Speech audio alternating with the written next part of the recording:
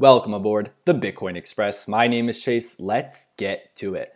What happens to Bitcoin after all the Bitcoin is mined? Or asked in another way, what is the point? What is the incentive for anyone to add a block to the blockchain if they're not going to receive a mining reward?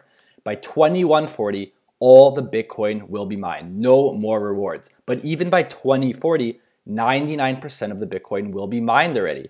So, what is going to incentivize people to continue to secure and add onto the blockchain? And the most likely answer, the one that people in the Bitcoin community believe has the best possible chance of occurring, is relying on transaction fees. And this comes directly from the Bitcoin white paper, directly from Satoshi Nakamoto. And in the paper, it says, quote, once a predetermined number of coins have entered circulation, the incentive can transition entirely to transaction fees. So a lot of people have a problem with this. How can it rely on just transaction fees? Well, as the network becomes larger, the demand for block size increases, and people are willing to pay higher transaction fees to get their Bitcoin transaction onto the blockchain. And if you think this doesn't happen or it can't happen, or you think it's only a theory, it already did occur, and it happened in 2017 as Bitcoin reached its all time high of almost $20,000 and people were competing. There was demand for block space. They were willing to pay super high transaction fees $15, $25, $28, even up to $38. And the reason why people are willing to pay such a high fee on the Bitcoin blockchain, because relative to the other cryptocurrencies or other blockchains, Bitcoin is the most secure. And this is probably the most important part about Bitcoin, its security, but it also is it has simplicity and it's also very liquid.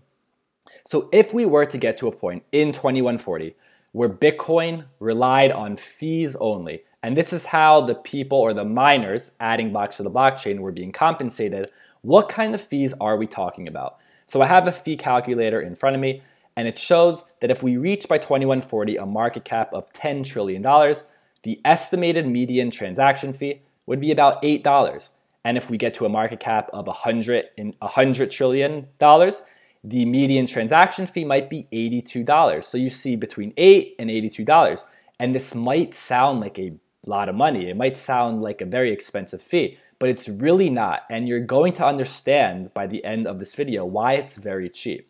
So if we ever did get to this point where Bitcoin did have these fees of $8 or $10, of course, Bitcoin won't be used for daily purchases. And already today, in May of 2020, it's already not being used for daily purchases. People don't buy a cup of coffee or buy a slice of pizza with Bitcoin.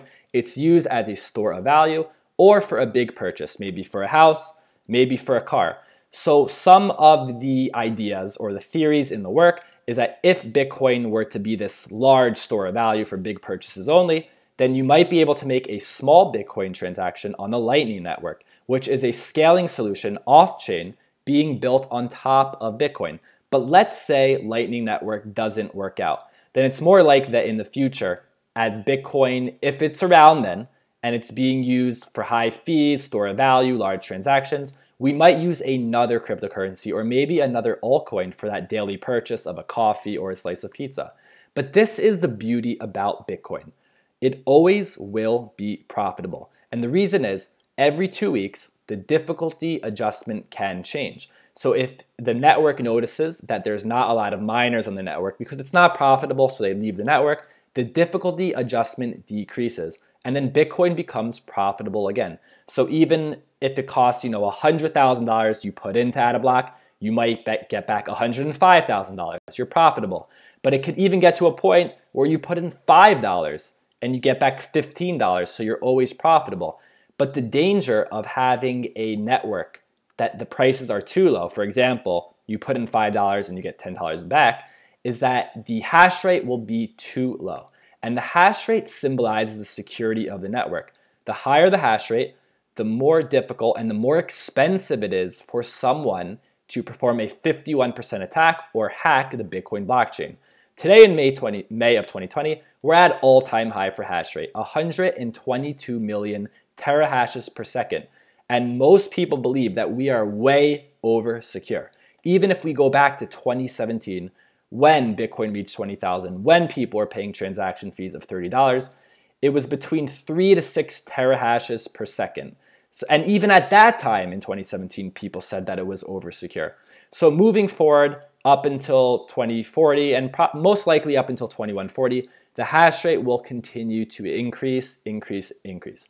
But eventually when we reach that point where there's no more block reward and it's only fees, we might see people leave the network and we'll see the hash rate drop. But it goes to show you in this chart that we have a lot of room to go down and still be secure. We could even go back to 2017 levels where we, we were between 3 to 6 terahashes per second and we would still be considered secure. And people are willing already today to pay these fees. They were in 2017 and they will likely moving forward. That's why big players, financial institutions, hedge funds are only involved in Bitcoin. Some also involved in Ethereum. Fidelity, digital assets involved in Bitcoin. Bakkt, created by the same parent company as the New York Stock Exchange, only involved in Bitcoin. Square and the Cash App only sells Bitcoin. And more recently, Paul Tudor Jones, legendary hedge fund investor, is only involved in Bitcoin. The fees today of Bitcoin are so low. I don't think anyone has a problem with them. We saw in 2020 this year, Bitfinex made a $1.1 billion Bitcoin transaction for only 68 cents. And I don't know how to really explain to you how low this is. It doesn't make any sense at all. But even if you told Bitfinex today, you know what, $1.1 billion Bitcoin transaction fee, we're going to charge you $300. They would say, thank you. That is such a cheap fee. So, so how can anyone have a problem in 2140 sending a $1.1 billion Bitcoin transaction fee for $10? maybe even $50. They'll have no problem at all. And these high fees, you might think they're not possible, but we're already paying them today.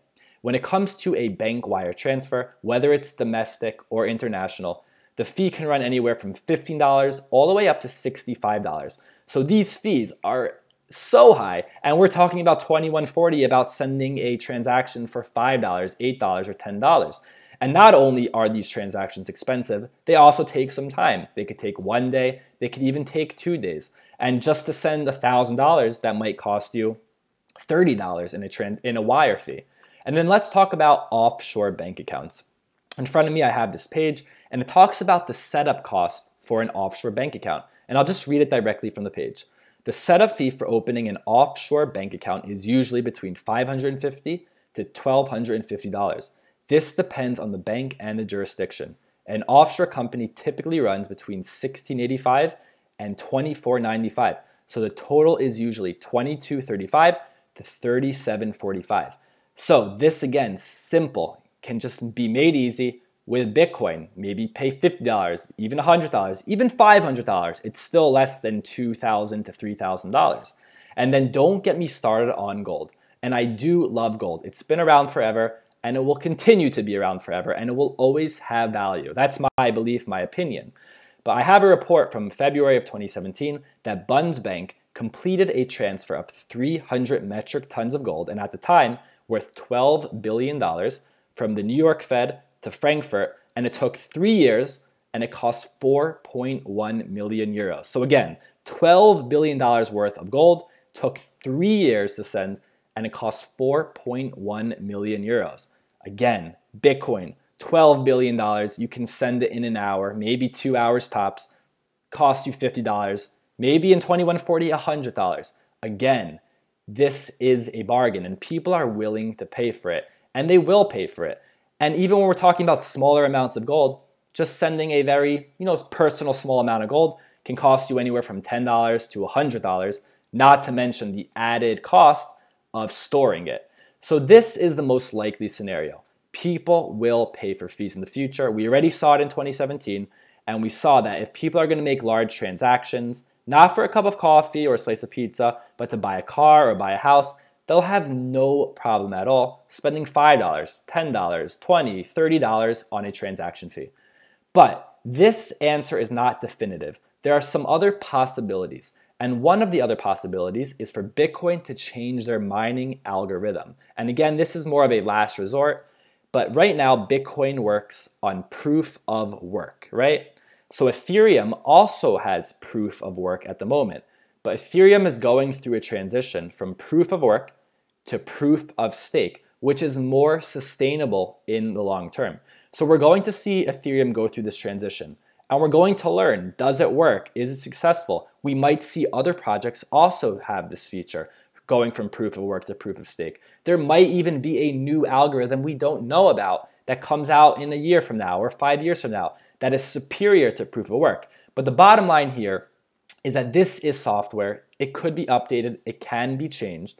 So we'll see in the future if, worst case scenario, Bitcoin has to turn to another algorithm if the fees are not supporting the network. And another idea, another possibility is, rate, is raising or increasing the block size on Bitcoin. Right now, a block is one megabyte and it can fit a certain amount of transactions inside. But if you increase the block size, you can fit more transactions and this can lower the fee for each individual participant. But again, this is a very heated debate in the Bitcoin community and it's not really a idea that's being considered at the moment. Again, this is more of a worst case scenario. So as we can see, the most likely scenario is that Bitcoin will rely from fees. And as you can see, even if the fees in 2140 become $8, $10, even $40, no one will have a problem with it just because we're already paying higher fees today with the way we spend money traditionally. And the halving happens every four years. And many people wonder, why did Satoshi Nakamoto set it at every four years? And one of the ideas is that it's similar to when a, let's say, a president or a ruler enters office. They might have four years or a certain time span to make a decision. And if it doesn't work, we get a new leader or a new president. So there still is a lot of time in the Bitcoin space to come up with new ideas. Again, this is software. There have been updates in the past, not so often with Bitcoin because they are more conservative, but other projects have a lot more updates. But the point is, things can change. The solutions we went over today in the video, while they might be the most likely solution, in the end of the day, in 2140, none of these might be the solution. There might be something we don't even know about yet. But at this moment in time, Bitcoin is most likely to run on fees alone by 2140 after all the Bitcoin is mined. If you like this video and you thought that it was helpful, do me a huge favor, like the video, subscribe to the channel. Thank you for listening, and I'll see you next time.